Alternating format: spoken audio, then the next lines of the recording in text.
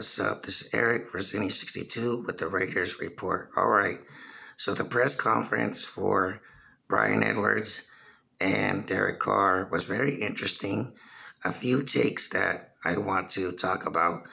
You know, Bryan Edwards said that he's just going to try to make plays this year.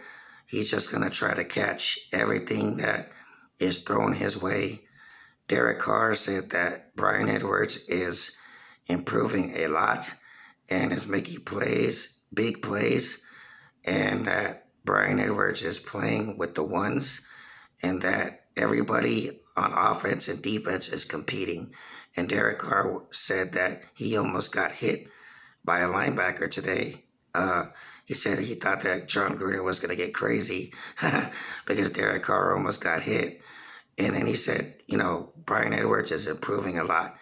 And um, he said it's a daily grind. He said they're they're all working hard for one common goal, and that is to win.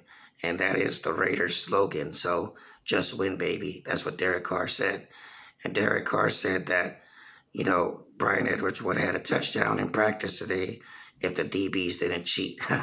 and Derek Carr said that DBs like to cheat a little bit. So that was just, you know, very cool to hear that Bryan Edwards and Derek Carr are on the same page and that Bryan Edwards is improving. Derek Carr is definitely going to need him this season to step it up and be that reliable big receiver that Derek Carr could throw to and hopefully, you know, expand the offense even more this year than they did last year. So those were just some very cool uh, takes on the press conference for Derek Carr. And Bryan Edwards. All right, like and subscribe to Zennie62.